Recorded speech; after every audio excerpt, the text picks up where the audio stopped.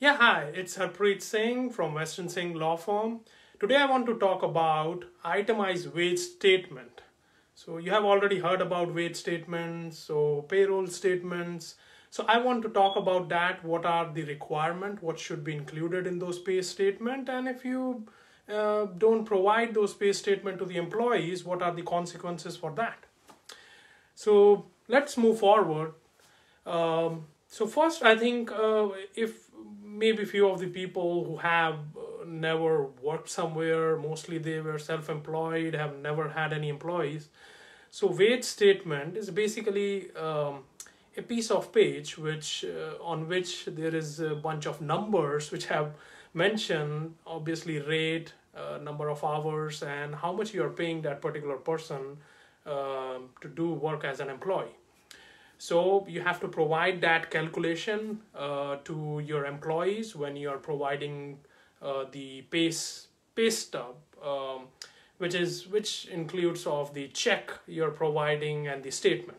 And it may or may not be a check. Uh, maybe you are paying them in cash, but still you have to provide your employees with some sort of statement which mentions about those calculations.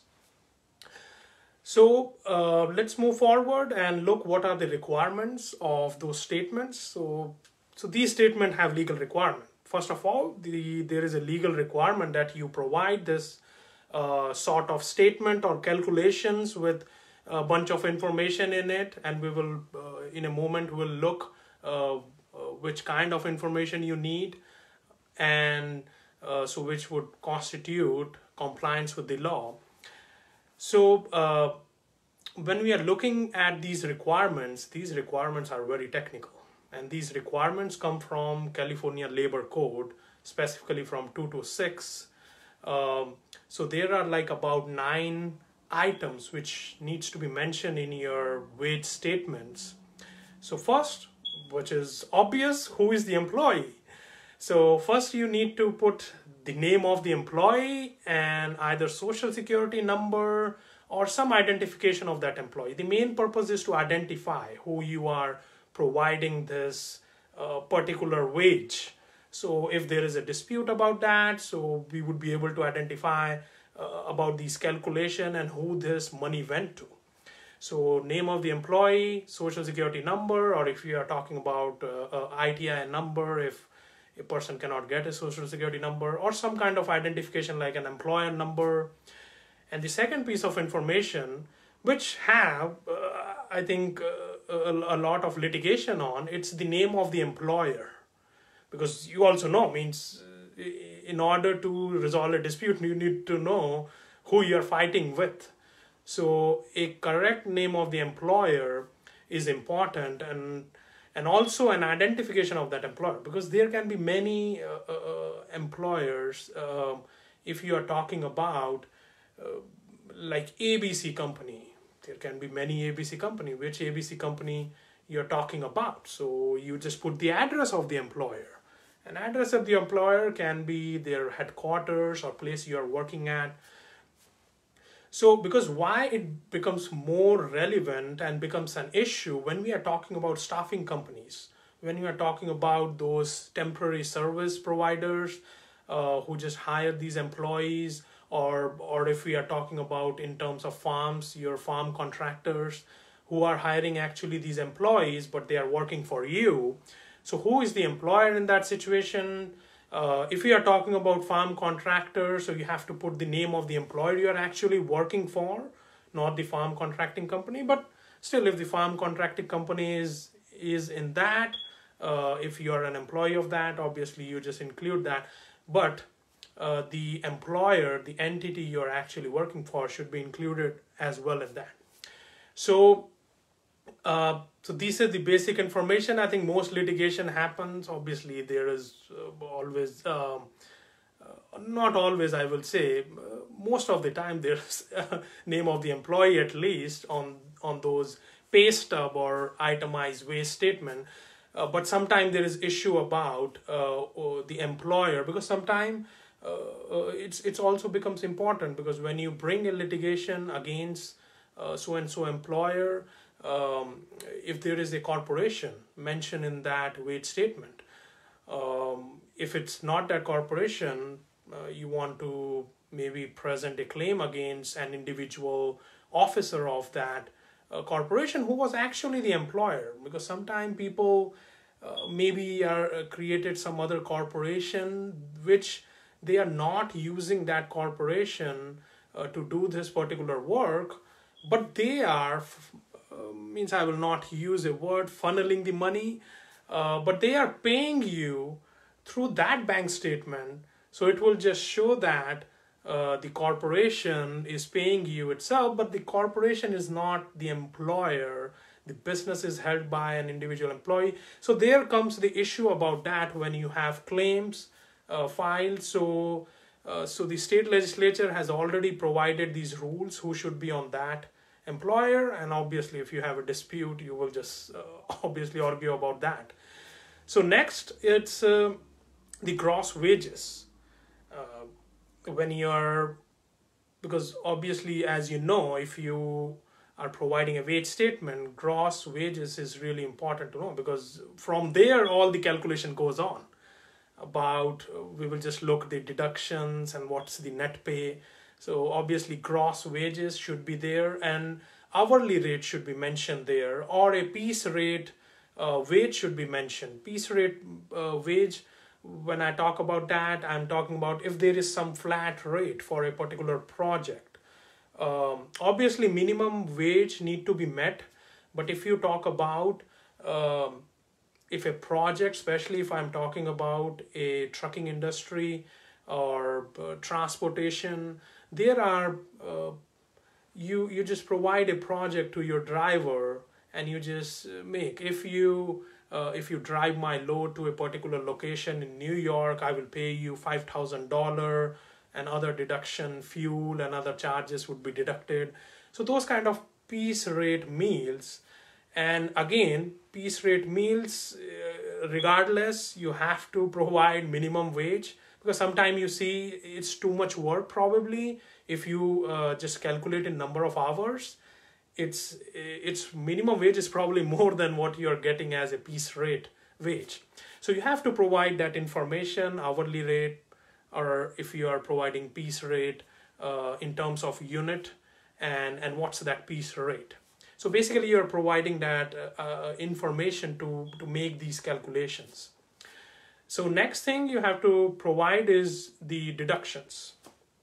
Deductions are important because uh, obviously uh, in terms to reach to the net wage deductions comes into play because uh, when you talk about deduction if you have seen your payroll statement deductions include several several charges where which we combinedly called as uh, payroll taxes which include your unemployment insurance uh, deduction from state and your federal taxes, state taxes, or disability insurance. So all these kind of charges are included in deductions. And there can be other deductions as well. If you have asked your employer to deduct certain amount of wages for your 401k plan, so that would be shown as deductions. Or if there is uh, some other charge like um, um, uh, premium payments for your life insurance, or disability insurance if you have authorized your employer to deduct that. So all those kind of deduction need to be on the wage statement in order to make accurate calculations. And the next is, uh, and the last thing, uh, in terms of calculation, if we can talk about, it's the net wage. After all those calculation, what's the net wage? And all these numbers when I'm talking about, it needs to be accurate. Uh, there is a room means still if you have a violation um, uh, without like having any intent or if there is some clerical errors it's it's it's fine. Law also understands uh, there there can be human errors from payroll company. Uh, unintentional errors maybe once here and there it's fine with the law. But if you talk about and and we will see what would be the consequences if you don't follow that. So the next thing is the pay period. You have to mention the pay period from which date to which date you are uh, making the representations about these calculations. So if there is dispute in future or even if there is no dispute a, an employee just want to see okay means for number of 10 days i have worked for so much. As self evaluation or performance if you can say um, or if there is future dispute obviously means uh, it would be uh, good to have that pay period instead of finding that. And i will uh, i think most of the wage statements uh, um, i think you would be getting you would pro uh, you would see these information but i will talk about in one of the scenarios which which will create a mess about this uh, I have already talked about the employee number and the name because identification is the most important thing you have to do. And obviously the next thing is the total number of hours because on, on that basis only you are just making those calculation based on your hourly rate, what's number of hours, then comes your gross wage and then your deductions and then the net wage. So let's see the next, uh, I think the requirement for the employers and also uh, employees, it's good to know for you that the employer need to keep these wage statement in their record at least for three years. An employee has a legal right to request copies of these wage statement or their complete employee file because that's part of the California Labor Code. Um, and the code is very strict on that. Because the employee uh, has the ownership kind of on this records because it's it's their information. And if suppose in future uh, employee have issues with uh, uh calculations or maybe employee uh, is thinking about uh, that there is some unfairness which happened and just want to review their file. So the employee can request it's always good to to make the request to the employer in writing. So within 21 days of the receipt of that request the employer need to provide the employee uh, that whole employee file uh, to the employee. And uh, the employer cannot ask for money to provide that uh, other than just the cost which is incurred by the employer to produce basically to just copy that and it would not be much. Maybe uh, depending obviously means if if you're working at a higher stage you would have more document. So it's all about documents copying cost and all those kind. Of it should not be much. Maybe um, uh, four five dollar ten dollar you're talking about. So it should not be much. So uh, so this is very strict. If the employer doesn't provide these statements or these employee record within 21 days then there is a penalty and code is strict about that. And the penalty is about $750. So $750, uh, maybe for some employer it's not much. But obviously if you have one violation and then if you just keep on violating and the government is very serious about that, then you, you have at uh, behind the California state's uh, enforcement powers, which you don't want to challenge because in that situation they will just keep watch on this because probably you're doing uh, i think on recurring basis these violations and then uh, the government will keep watch and if there is next violation then penalties uh, will goes up or there can be another investigation from labor commissioner's office so so it's really very important for the employers to provide those uh, employee records and the next, uh, let's talk about the consequence. If suppose there is some violation, some violation means if if in wage statement employer name is not correct or employer's address is not there, just kind of a technical violation, but still it's a violation. So the law has some consequence for that. So so the in terms of consequences, so for the for per employee for per violation, it's fifty dollar for your first citation so if suppose on just one wage statement there is incorrection, so we are talking about $50. If we are talking about like for all the employees, if you have like uh, 20 employees, then we are talking about little more money for per violation. But just imagine if you have like 20 employees and you are doing these violations from last six months just count how many pay statement even if we consider like two pay statement a month which would be more obviously because there are more more weeks uh, if you just see annually. For example if you just see like 24 wage statement which are inaccurate and you have 20 employees then you just do your calculation with $50 and and it increases. It increases to $100 but there is a limit for that. So the total amount would be $4000 maximum. So that's the amount of penalties the employer has to give. In addition to that plus cost and reasonable attorney's fees, which is always more than four thousand dollar. Obviously, if um, depending on like uh, how far you have argued with each other, there would be like amounting attorney's fees involved. So so it becomes serious, and and you have to take it seriously. You should, I think, just look your policies, and just see uh, if you employee per violation. Sorry, it's thousand dollar per employee per violation because there are so many numbers so so sometimes it get mixed up. So these uh, these things become very serious. If you're talking about like amount like bunch of uh, wage statement bunch of violations and and obviously bunch of employees then it just keep rising up. So so these are all the uh, basic laws about just keeping accurate wage statement and consequences about that. And there is a whole lot of litigation which goes on that. If you're talking about an hourly wage and hour claim from an employee uh, you will find mostly this cause of action failure to provide an itemized wage statement. So basically what they are saying that you have made a technical violation probably or in a situation which uh, i just tried to discuss a few moments ago so when you're talking about a misclassification of an employee as an independent contractor, in that situation, this issue becomes very significant. Why? Because if a person who you classified as independent contractor giving 1099 from few years, if we talk about years, there's like many number of months and you're talking about many number of possible wage statement so in that situation, now you're talking about you have not even given the wage statement.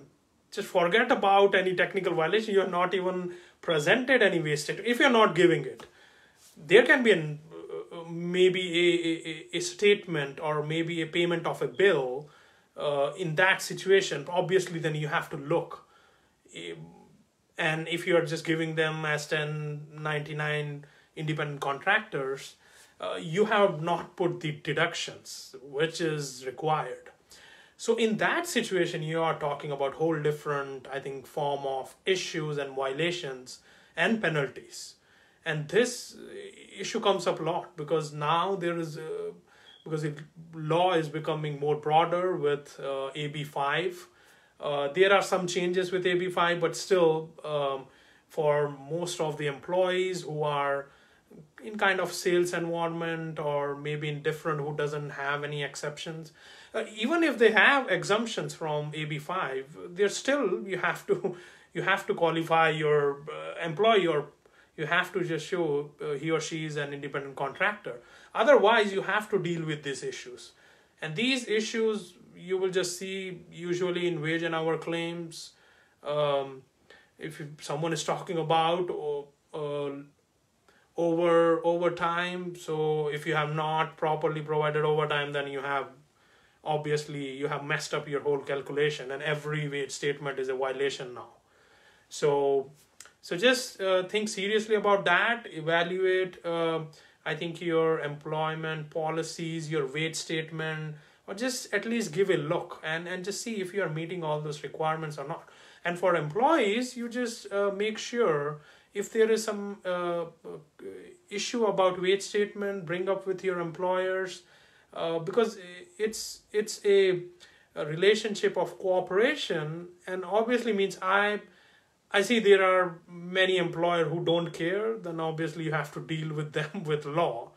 Uh, but if I think if you can bring up these issues with your employer, uh, and if your employer is fair enough, they will correct that, and you don't have any calculation issues or other thing.